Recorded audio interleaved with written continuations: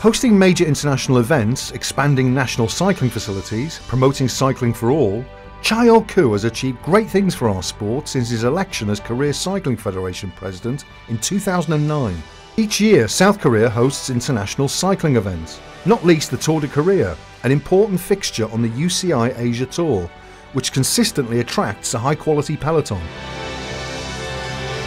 Mr. Koo is also dedicated to the development of young cyclists. In 2014, the UCI Junior Track Cycling World Championships unfolded in the magnificent Gwangmyeong Velodrome, while on the road, the Tour de DMZ is the final stopover of the UCI Men Junior Nations Cup.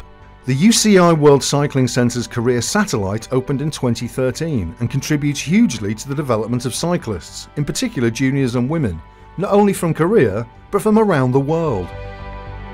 The country's expanding cycling facilities include the country's first 250 metre indoor velodrome, which opened in 2017 at the National Training Centre in Jincheon, North Chungcheong Province. BMX tracks have been constructed around the country as Mr. Koo and his federation develop this discipline. In the last three years, the number of BMX riders in the youth category has increased from zero to almost a thousand. 100 new BMX coaches have been trained over the same period.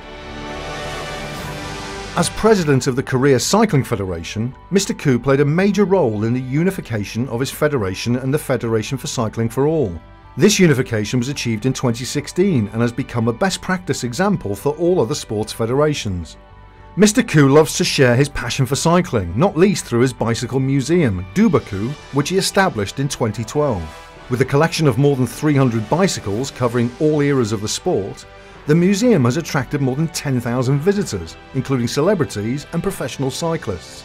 Cha-Yol drive, commitment and professionalism continue to benefit our sport, and we thank him sincerely.